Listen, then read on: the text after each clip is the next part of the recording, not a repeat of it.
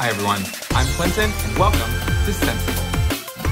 In today's episode, we're going to explore and identify the major anatomy and most important points of the neck, shoulder, chest, and arm. Understanding basic anatomy allows for a smooth massage and essentially gives your hands the vision that they need to feel what you want to work on. We're gonna work superior to inferior or top to bottom. Let's get started, shall we? Today we begin with the neck. The neck is one of the most durable structures in the human body. Though it's comprised of many complex parts, today we identify the sternocleidomastoid, also known as the SCM. And continuing down the neck, we land at the superior portion of the trapezius. Known for its kite-like shape, the trapezius is a strong surface muscle, spanning most of the upper shoulders and down through the mid-back. But what's this bone? The scapula. The scapula, or shoulder blade, is a prominent bony landmark.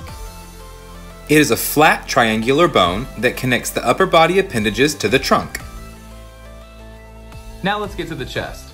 We'll start with pectoralis major. More commonly known as the pecs, pectoralis major creates the bulk of the muscle in the chest.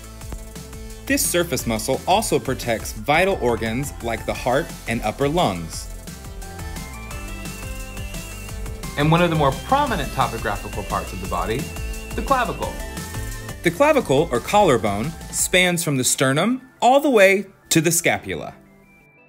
Did you know that the clavicle is one of the first bones in a fetus to start hardening, yet one of the last bones that hardens in adults? From the pecs, we can trace the clavicle all the way to find the deltoid. The deltoid is a large muscle at the top of the arm that is responsible for lifting the arm and giving the shoulder its range of motion. And I think we all know triceps and biceps brachii. Triceps and biceps brachii are a dynamic duo. Together, they enable extension and retraction of the forearm. When the triceps are contracted, the forearm extends and the elbow straightens. If the triceps are relaxed and the bicep is flexed, the forearm retracts and the elbow bends.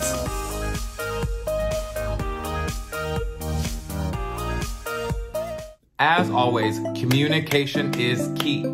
Consult with your partner before starting any massage practice. Whether it's contraindicated or simply undesired, the art of consent is key. So, deep breath in. Ah. Now let's get sensible. Let's review that anatomy during a massage. We begin gently moving into the sternocleidomastoid and applying first compression to the trapezius. Remember to keep your opening pressure gentle and clear communication with your partner at all times. During your trap compression, if it's comfortable for your partner, you can ask them to gently stretch their ear to their shoulder while keeping their view of front. This allows for a wonderful stretch and release of the upper neck and shoulders. Using the scapula as a landmarker, we continue to massage the shoulders and apply pressure to the deltoid. Lift and return to the clavicle, tracing it along pectoralis major and over to biceps brachii, finishing with a nice effleurage on the triceps.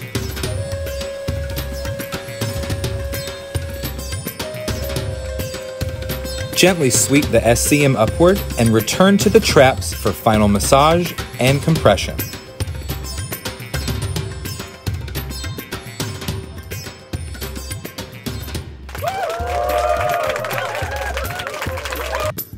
Join me back here next week as we continue to discover more anatomy. That's right, we're gonna work on the inferior part of the body, including the major muscles of the lower back, hips, glutes, legs, and feet. Thanks so much for joining me, everyone. I'm Clinton, and I'll see you back here soon.